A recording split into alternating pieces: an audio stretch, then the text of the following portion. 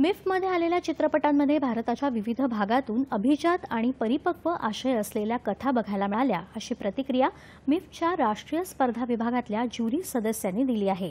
मिफमधल्या स्पर्धा विभागाबद्दल परीक्षण करताना आलेले अनुभव या ज्युरी सदस्यांनी काल घेतलेल्या पत्रकार परिषदेत सांगितले. विद्यार्थ्यांनी तयार केलेले सिनेमे देखील अनुभवी चित्रपट निर्मात्यांइतकेच उत्तम दर्जाचे होते ही विशेष आनंददायी गोष्ट असल्याचं ज्युरींच्या अध्यक्षा अपूर्व बक्षी यांनी सांगितलं.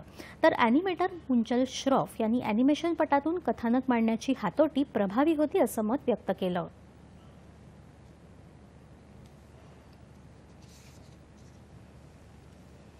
ये बहुत ही बढ़िया एक्सपीरियंस रहा मेरे लिए जो वैरायटी है। फिल्म्स की जो एंट्रीज जो आई बहुत ही बढ़िया थी। अलग अलग सब्जेक्ट्स थे।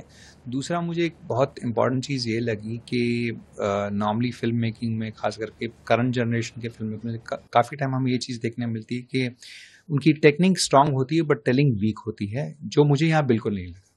I, मुझे एक बहुत अच्छी चीज़ ये लगी कि इनका कमांड टेलिंग पे भी उतना ही स्ट्रांग है। तो वो एक बहुत अच्छी चीज़ है कि जो खास करके स्टूडेंट कैटेगरी में या डेब्यूटेंट फ़िल्म मेकर्स में कि उन, उनकी ग्रिप जो क्राफ्ट के ऊपर फ़िल्म मेकिंग क्राफ्ट वो काफ़ी स्ट्रांग है।